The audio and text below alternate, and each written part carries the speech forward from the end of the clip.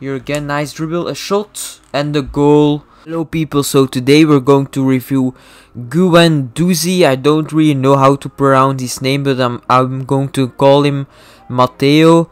So, um, if you put this card with Pogba or Kante or whatever, this card is really sick. 82 pace, which is just in the midfield, it's actually very good. 83 shooting, that's just very good.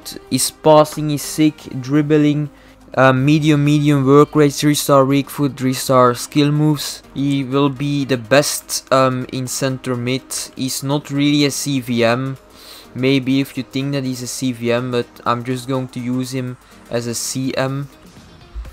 Here's he again on the ball, speeding.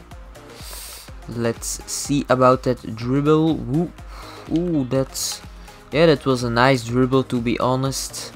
He's like a really good just CM.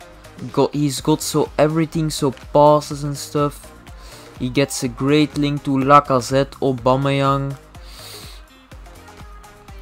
if you can manage him in with maybe Pogba and Kante, he you would like he's like super sick. He's like the perfect CM. Here again, nice dribble, a shot, and the goal. What a goal. Yeah, that was a really sick goal for Matteo. Nice. His physical isn't that great.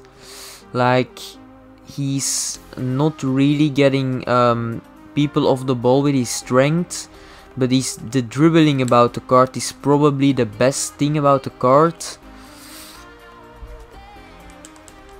Uh, maybe he's a good cam but yeah he's so he's not really tall he's a bit on the short side so I don't really know if you can put him in cam but yeah